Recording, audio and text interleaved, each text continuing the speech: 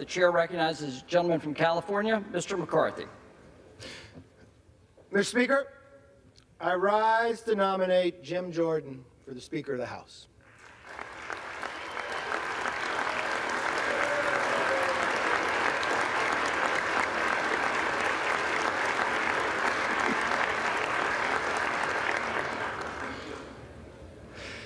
Now, I've listened to the speeches this week, and I can already tell you what my friends on the other side will say using their poll tested phrases. But let me correct the record. Jim Jordan is an effective legislator.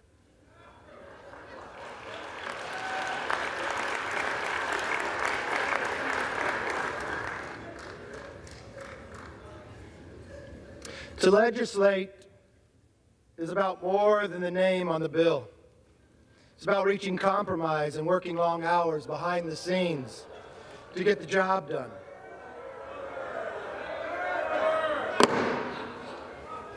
The House will come to order. Gentlemen, may resume. When you are the chairman of a committee, you are responsible for dozens of bills passing the House and being signed into law.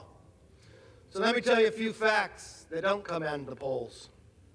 As the leader of the Judiciary Committee, Jim has passed more bills through the House in just three years than the entire Democrat leadership team that has their collective 28 years in Congress.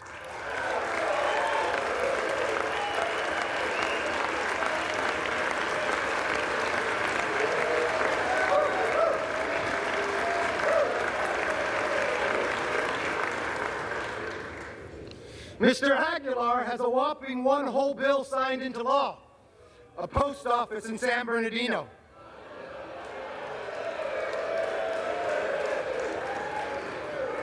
I guess that's good enough to be caucus chair. Jim Jordan, on the other hand, has a hand in drafting bills like the REINS Act to curb unaccountable bureaucrats. He helped negotiate and pass H.R. 2, the strongest border security bill this House has ever passed.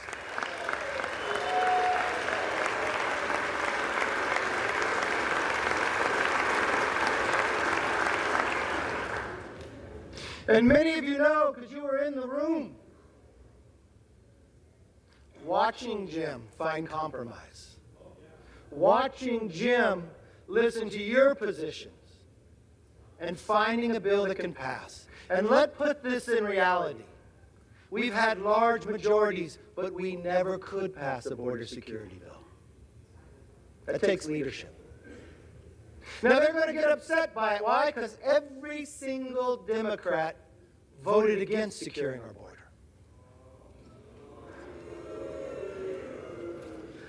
Democrats are attacking Jim because they don't want the American people to remember that they voted against securing and keeping a wide open border. They may not want the American public to know the number of people we catch on the terrorist watch list. They may not want people to know what the future holds in the security for our nation based upon their policies. Name me one bill Democrats passed that would secure our border. I'm waiting. You can't because they haven't. Mr. Speaker, the truth is, if we measure lawmakers by how many bills have their name on it, we are using the wrong measuring stick. Some of my members I know with the most bills to their name are the most selfish. Jim Jordan, on the other hand, is one of the most selfless members I know.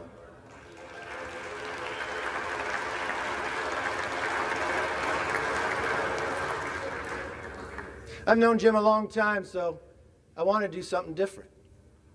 I actually called the freshman members on his committee and asked them, What do you think of your chairman?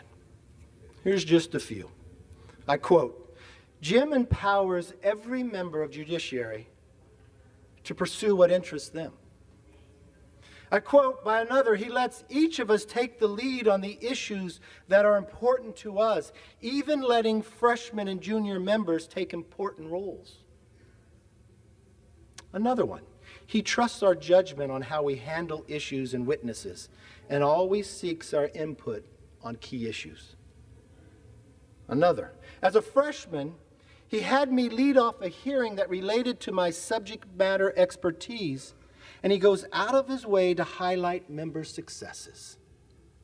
He is straightforward, honest, and reliable. That is who Jim Jordan is, and that's what being a speaker is all about.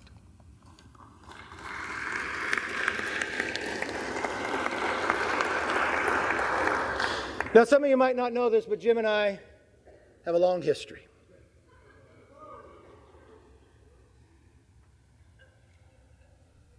We created because we take our job serious.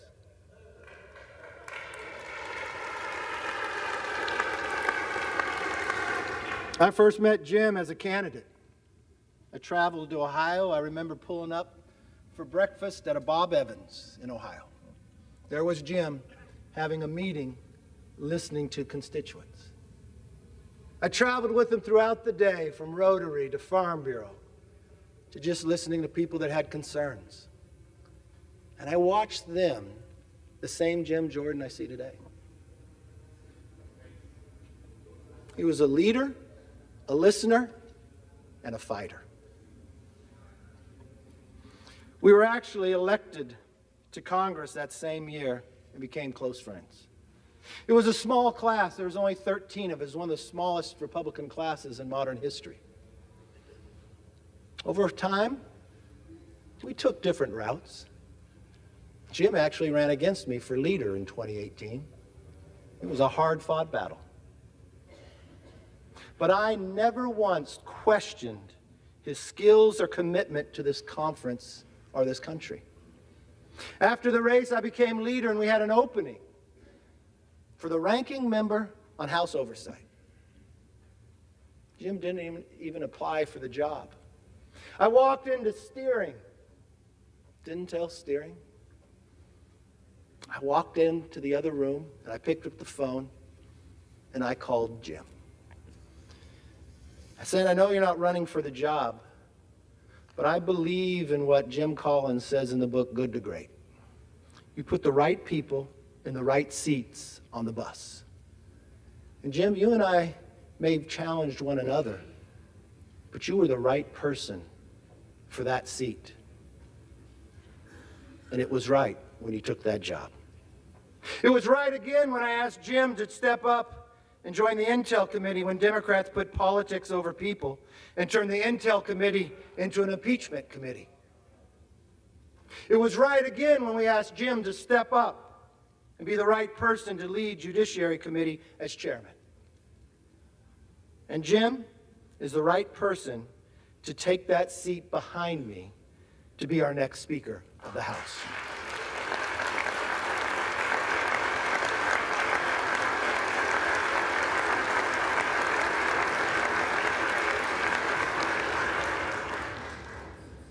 Mr. Speaker, we have an important job to do. The American people expect us to focus on the most pressing issues. We've watched what the Democrat majority has done and brought us inflation like we haven't seen since the 70s. We've watched what the Democrats have done by opening up our border, bringing fentanyl, killing Americans each and every day. And now we have a war in Israel. This country is too great for small visions. Trust me, being speaker is not an easy job, especially in this conference. But I've seen Jim spend his entire career fighting for freedom. No matter what, no matter the odds, and I know he is ready for the job. And so it is my honor to say, as a member of the Republican Conference, I am directed by the vote of that conference to present for the election to the office of Speaker of the House of Representatives the name of my friend, the Honorable Jim Jordan, a representative from the state of Ohio. I yield back.